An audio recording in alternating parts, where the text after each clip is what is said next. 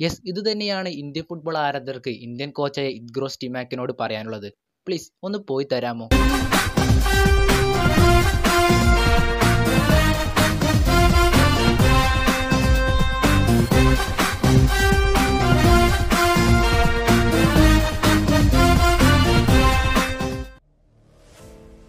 നമസ്കാരം ഏവർക്കും ഗോഡ്സൺ സ്പോർട്സിന്റെ മറ്റൊരു അനലൈസിംഗ് വീഡിയോയിലേക്ക് സ്വാഗതം. ഇന്നത്തെ വീഡിയോ ഇന്ത്യ വേഴ്സസ് നേപ്പാൾ മാച്ചിന്റെ അനലൈസിംഗ് വീഡിയോ ആണ്. വീഡിയോ മുഴുവനായിട്ട് കാണാൻ ശ്രമിക്കുക. വീഡിയോ പെട്ടെന്ന് നിങ്ങളുടെ അഭിപ്രായങ്ങൾ കമന്റ് ചെയ്യാനും വീഡിയോ ഇഷ്ടപ്പെട്ടാൽ തീർച്ചയായിട്ടും ലൈക്ക് ചെയ്യാനും ഷെയർ ചെയ്യാനും സബ്സ്ക്രൈബ് ചെയ്യാനും ശ്രമിക്കുക. വീഡിയോയിലേക്ക് കടക്കാണ്ട് മുന്നേ പറയാനുള്ളത് ഇതിൽ ഇന്ത്യൻ കോച്ചിനെ പറ്റി കുറച്ച് കാര്യങ്ങളൊക്കെ പറയുന്നുണ്ട്. ഇന്ത്യൻ ഫുട്ബോൾ ആരാധകർ ഇത് വിഷമിച്ചിട്ട് കാര്യമില്ല. കാരണം പറയുന്നത് സത്യമാണ്. പിന്നെ നല്ല രീതിയിൽ കളിച്ചാൽ നമ്മൾ അഭിനന്ദിക്കും പൊട്ട രീതിയിൽ കളിച്ചാൽ നമ്മൾ വിമർശിക്കും. ഇത് മാത്രം പറഞ്ഞുകൊണ്ട് നമുക്ക് വീഡിയോയിലേക്ക് കടക്കാം. നമ്മൾ ഫസ്റ്റ് ഹാഫിൽ റിവ്യൂ കിടക്കുന്നതിന് മുന്നേ ഇറങ്ങിയ ഇലവൻ നമുക്ക് നോക്കാം. അഥവാ ഫസ്റ്റ് ഇലവൻ നമുക്ക് നോക്കാം. അത് Gurpreet Singh Rahul Bheke Subhasish Bose Mishra Sana Brandon Suresh Glan Martinez Liston Colaco Manvir Singh Sunil Chhetri തുടങ്ങിയ താരങ്ങളായിരുന്നു ഫസ്റ്റ് ഇലവനിൽ ഇറങ്ങിയിരുന്നത്. നമ്മൾ ആദ്യത്തെ ഹാഫിന്റെ റിവ്യൂ നോക്കുകയാണെങ്കിൽ ഫുട്ബോളിൽ ബേസിക് ആയിട്ട് വേണ്ട കാര്യങ്ങളായിരുന്നു മിസ്റ്റേക്കുകളായിട്ട് നമ്മളുടെ ഇന്ത്യൻ ഫുട്ബോൾ നാഷണൽ ടീം കാഴ്ചവെച്ചത്. ഫസ്റ്റ് ടച്ച് പിന്നെ മിസ് പാസ് പൊസിഷനിങ് തുടങ്ങിയ കാര്യങ്ങളായിരുന്നു ഇന്ത്യയുടെ ഭാഗത്തു നിന്ന് വന്ന മിസ്റ്റേക്കുകൾ ഫസ്റ്റ് ടച്ചൊക്കെ നല്ല രീതിയിൽ എടുക്കാൻ ഇന്ത്യൻ താരങ്ങൾക്ക് സാധിച്ചില്ല. പിന്നെ നല്ല ഡ്രിബിളിംഗ് ഒന്നും കംപ്ലീറ്റ് ചെയ്യാൻ സാധിച്ചില്ല. ഡ്രിബിൾ ചെയ്ത് പോകുമ്പോഴേക്കും മുഴുവനും മിസ്പാസ് ആയിക്കൊണ്ടും അല്ലെങ്കിൽ ബോൾ കൺട്രോൾ നഷ്ടപ്പെട്ടുകൊണ്ടും പോവുകയായിരുന്നു. പിന്നെ നല്ല രീതിയിൽ പൊസിഷനൊന്നും ഇന്ത്യയുടെ ഭാഗത്തു നിന്ന് കാണാൻ സാധിച്ചില്ല. ഉദാഹരണം പറയുകയാണെങ്കിൽ ലിസ്റ്റൻ കോളൊക്കെ സെന്ററായിട്ട് കളിച്ചൊരു പോലെ നമുക്ക് ഫീൽ ചെയ്തു. കാരണം ബ്രാൻഡൻ ഇട്ട് കൊടുക്കുന്ന പാസുകളൊന്നും ലിസ്റ്റൻ കോളൊക്കെ ഓടിയെടുക്കുന്നില്ല. ആകാശ് മിശ്രയാണ് ഓടിയെടുക്കുന്നത്. എന്നാൽ ആകാശ് മിശ്രയ്ക്ക് ബാക്കിൽ നിന്ന് ഫ്രണ്ടിലേക്ക് ഓടിയെത്തുമ്പോഴേക്കും ബോൾ എല്ലാം ത്രോ ആയി പോവുകയായിരുന്നു. അതൊരു തന്ത്രമാണ് എന്ന് പറയുകയാണെങ്കിലും ലിസ്റ്റൻ കോളൊക്കെയാണ് അത് ഓടിയിരുന്നെങ്കിൽ ആ ബോൾ എടുക്കാൻ സാധിച്ചേനെ. അതൊരു വലിയൊരു മിസ്റ്റേക്കായിട്ട് എനിക്ക് തോന്നി. അതൊരു വലിയൊരു മിസ്റ്റേക്ക് തന്നെയാണ്. പിന്നെ ബ്രാൻഡന്റെ ഭാഗത്ത് നിന്ന് നോക്കുകയാണെങ്കിൽ നല്ല വലിയ രീതിയിലുള്ള പാസുകളൊന്നും കാണാൻ സാധിച്ചില്ല. അതിൽ കൊടുക്കുന്ന പാസുകളൊന്നും താരങ്ങൾക്ക് എടുക്കാൻ പറ്റാത്ത രീതിയിലുള്ള പാസുകളായിരുന്നു പിന്നെ ഏറ്റവും നല്ല രീതിയിൽ കളിച്ച താരം എന്ന് പറയുന്നത് സുനിൽ ഛേത്രിയാണ്. അദ്ദേഹത്തിന്റെ ഫസ്റ്റ് ടച്ചും കൺട്രോളിങ്ങും എല്ലാം നല്ല രീതിയിലായിരുന്നു. നല്ല രീതിയിലുള്ള പാസുകളും അദ്ദേഹം താരങ്ങൾക്ക് കൊടുത്തിരുന്നു. എന്നാൽ അദ്ദേഹത്തിന് ഗോൾ അടിക്കാൻ പറ്റാവുന്ന അവസരങ്ങൾ സൃഷ്ടിക്കാനോ പാസുകൾ നൽകാനോ സെന്ററിനോ വിങ്ങിനോ സാധിച്ചില്ല. പിന്നെ മൺവീർ സിംഗ് എന്ന് പറയുന്ന ഫോർവേഡ് പൊസിഷൻ അഥവാ വിങ്ങറായിട്ട് കളിച്ച ആ താരത്തിന് ഒന്നോ രണ്ടോ പ്രാവശ്യം മാത്രമേ ലൈവിൽ നമുക്ക് കാണാൻ സാധിച്ചുള്ളൂ. അത്ര മോശം പ്രകടനം എന്ന് പറയാൻ പറ്റില്ല. അദ്ദേഹത്തിന് ഒന്നും ചെയ്യാൻ സാധിച്ചില്ല എന്ന് വേണമെങ്കിൽ പറയാം. ബാക്ക് നോക്കുകയാണെങ്കിൽ ബാക്കിൽ ഡിഫൻഡ് ഒന്നും വലിയ രീതിയിൽ ഉണ്ടായിരുന്നില്ല. ഇടയ്ക്കിടയ്ക്ക് മാത്രമാണ് നേപ്പാളിന്റെ ഭാഗത്ത് നിന്ന് അറ്റാക്കിംഗ് ഉണ്ടായിരുന്നത്. എന്നാൽ ആ സമയത്ത് ഡിഫൻസ് ആകെ ഷേക്ക് ആയിക്കൊണ്ട് അഥവാ പേടിച്ച് നിൽക്കുന്ന ഒരു അവസ്ഥയെ നമുക്ക് കാണാൻ സാധിച്ചു. പിന്നെ നമ്മൾ ഗോൾ മുപ്പത്താറാം മിനിറ്റിൽ ഗോൾ വന്ന വഴി നോക്കുകയാണെങ്കിൽ ചിക്കറ്റ് സനയുടെ ഒരു മിസ് പാസ് ആണ്. ഗോൾ കീപ്പർ എവിടെ നിൽക്കുന്നത് എന്ന് നോക്കാതെയുള്ള ഒരു മിസ് പാസ് ആയിരുന്നു.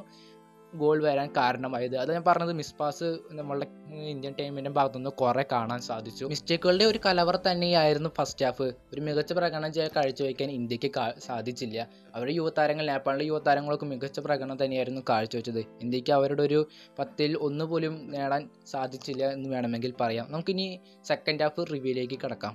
സെക്കൻഡ് ഹാഫിനെടുത്ത് പറയുകയാണെങ്കിൽ ഇന്ത്യ എന്തൊക്കെ ഈ മത്സരത്തിൽ കാഴ്ചവെച്ചിട്ടുണ്ട്? അതെല്ലാം നടന്നിട്ടുള്ളത് സെക്കൻഡ് ഹാഫിലാണ് സെക്കൻഡ് ഹാഫിൽ പകരക്കാരായി ഇറങ്ങിയവർ കാരണമാണ് സെക്കൻഡ് ഹാഫ് കുറച്ചുകൂടി മികച്ചതായി മാറിയത്. അതിൽ ഏറ്റവും നല്ല പകരക്കാരനായിട്ട് ഇറങ്ങിയത് താപ്പയാണ് എന്നാണ് എന്റെ അഭിപ്രായം. നിങ്ങളുടെ അഭിപ്രായം എന്തായാലും കമന്റ് ചെയ്യുക. കാരണം താപ്പ ഇറങ്ങിയ സമയത്ത് നല്ല രീതിയിലുള്ള പ്രകടനം ഇന്ത്യയുടെ ഭാഗത്തു നിന്ന് കാണാൻ സാധിച്ചു. കളി രീതി മാറി എന്ന് വേണമെങ്കിൽ പറയാം.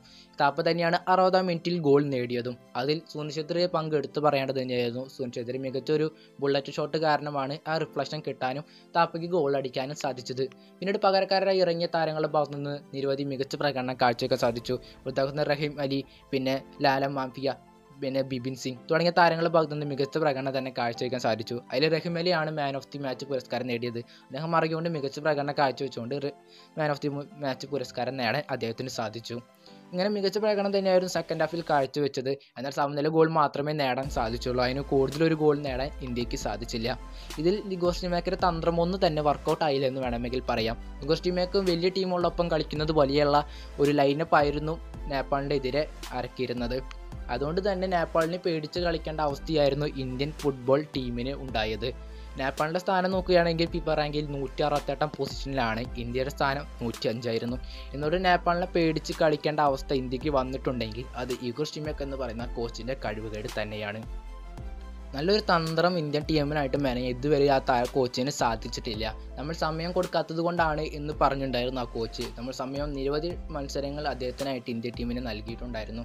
എന്നാൽ എന്നിട്ടും ആ കോച്ച് നല്ലൊരു ഇലവനെയോ നല്ലൊരു മത്സരമോ കാഴ്ചവെക്കാൻ അദ്ദേഹത്തിന് സാധിച്ചിട്ടില്ല. ജയിച്ച മത്സരങ്ങൾ നോക്കുകയാണെങ്കിൽ സൂര്യൻ ഛേത്രി എന്ന് പറയുന്ന താരത്തിന്റെ കഴിവും പിന്നെ മറ്റു താരങ്ങളുടെ കഴിവും കാരണമാണ്. അല്ലാതെ ഈ കോച്ചിന്റെ കഴിവ് കൊണ്ട് ഒരു കളി പോലും ഇന്ത്യൻ ടീമിന് ജയിക്കാൻ സാധിച്ചിട്ടില്ല. പിന്നെ ഡിഫെൻഡ് ചെയ്ത് നിന്ന മത്സരങ്ങൾ നോക്കുകയാണെങ്കിൽ ഇന്ത്യൻ താരങ്ങൾ നല്ല രീതിയിൽ കളിച്ചുകൊണ്ട് മാത്രമാണ് അവർ ഡിഫെൻഡ് ചെയ്തുകൊണ്ട് സമനിലയെങ്കിലും നേടാൻ ഇന്ത്യയ്ക്ക് അന്ന് സാധിച്ചിട്ടുള്ളത്. ഈ കോച്ചിനോട് കാൽകാശിന് ഉപകാരമില്ല എന്ന് വേണമെങ്കിൽ പറയാം. കുറേ മത്സരങ്ങൾ നമ്മൾ വെയിറ്റ് ചെയ്ത് നോക്കി. എന്നിട്ട് ഇദ്ദേഹത്തിന്റെ ഭാഗത്തുനിന്ന് പ്രത്യേകിച്ച് ഒന്നും തന്നെ കാണാൻ സാധിച്ചില്ല. എന്ന് മാത്രമല്ല കളി തോക്കുകയാണെങ്കിൽ ജയിക്കുകയാണെങ്കിലും വളരെ രീതിയിലുള്ള എക്സ്ക്യൂസ് അഥവാ ന്യായീകരണങ്ങൾ അദ്ദേഹത്തിന്റെ ഭാഗത്തുനിന്ന് കാണാൻ സാധിച്ചു.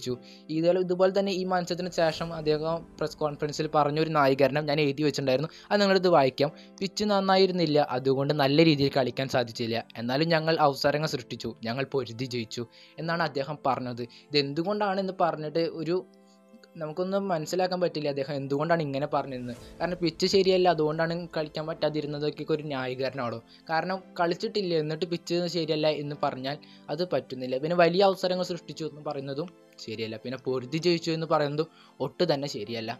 അതുകൊണ്ട് തന്നെ ഇദ്ദേഹത്തെ പുറത്താക്കണമെന്നാണ് എന്റെ അഭിപ്രായം. നിങ്ങളുടെ അഭിപ്രായം എന്തായാലും കമന്റ് ചെയ്യുക. ഇദ്ദേഹം ഇനിയുണ്ടെങ്കിൽ ഇന്ത്യൻ ഫുട്ബോളിന് ഉയരങ്ങളിൽ എത്താൻ സാധിക്കില്ല. ഇദ്ദേഹം വരുന്നതിന് മുന്നേ നൂറാം സ്ഥാനത്ത് നിന്ന് ഇപ്പോൾ നൂറ്റി അഞ്ചാം സ്ഥാനത്തേക്ക് ഇറങ്ങിയിരിക്കുകയാണ്. ഇനി ഇദ്ദേഹത്തെ പുറത്താക്കുക മാത്രമാണ് ഇന്ത്യയ്ക്ക് ഏറ്റവും നല്ലൊരു മാർഗം ഇനി ഉയരാനുള്ളത്. എന്തായാലും ഇനിയും മത്സരങ്ങൾ നേപ്പാളിന്റെ ഒപ്പം ഇന്ത്യക്കുണ്ട്. സെപ്റ്റംബർ അഞ്ചിനും ഒക്ടോബർ പത്തിനും ആ മത്സരമെങ്കിലും ജയിക്കാൻ സാധിക്കട്ടെ. പിന്നെ ഇദ്ദേഹത്തെ മാറ്റാനുള്ള ഒരു ബുദ്ധി ഇന്ത്യൻ ഫുട്ബോൾ ഫെഡറേഷനൊക്കെയും ആ ബുദ്ധി ഒരു കൊടുക്കട്ടെ എന്ന് പറഞ്ഞുകൊണ്ട് ഇന്നത്തെ വീഡിയോ നിർത്തുകയാണ്. വീഡിയോ പറ്റി നിങ്ങൾ അഭിപ്രായങ്ങൾ തീർച്ചയായിട്ടും നിങ്ങൾ കമന്റ് ചെയ്യണം. വീഡിയോ ഇഷ്ടപ്പെട്ട ലൈക്ക് ചെയ്യാനും വീഡിയോ ഇഷ്ടപ്പെട്ടില്ലെങ്കിൽ ഡിസ്ലൈക്ക് ചെയ്യാനും ചാനൽ സബ്സ്ക്രൈബ് ചെയ്യാനും ബെല്ലൈക്കൺ എനേബിൾ ചെയ്യാനും ശ്രമിക്കുക. മറ്റൊരു ദിവസം മറ്റൊരു കിടിലൻ വീഡിയോ ഇടുന്ന പ്രതീക്ഷയോടെ ഞാൻ നിർത്തുന്നു. ഇത് ഗോഡ്സ് ആൻഡ് സ്പോർട്സ്